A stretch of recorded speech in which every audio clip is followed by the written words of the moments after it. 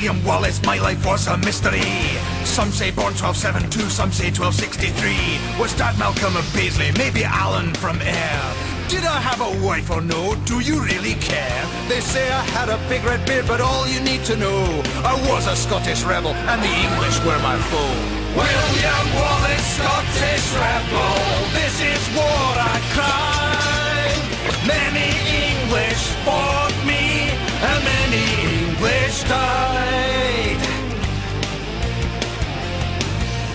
I took against the English back when I was fairly wee, cause an Englishman called Selby bullied my whole family. It upset me, so I stuck him dead. Well, wouldn't you? Then an English sheriff came along. Guess what? I killed him too. They say he killed my wife, so he deserved what he got. Then England's King Ed came for me. Oh, I'm scared not. William Wallace, Scottish rebel, possibly six foot seven. But all that really matters is I sent Englishmen to heaven. 40,000 English came to Stirling Bridge for me. They had to cross a narrow bridge to get to us, you see.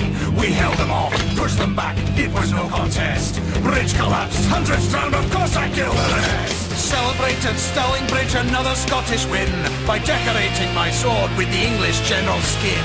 William Wallace, Scottish rebel, Scottish legend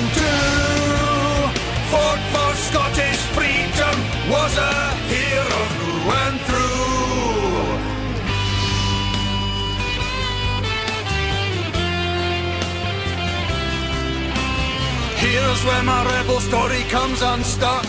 And Falkirk defeated, I'd run out of luck. Spent seven years playing hide and seek. Captured central London, tried for treason, what cheek!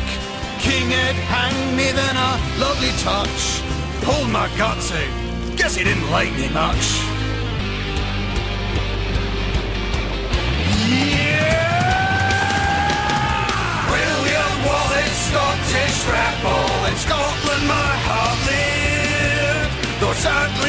My head wound up on a spike on London Bridge. Oh, that's smart.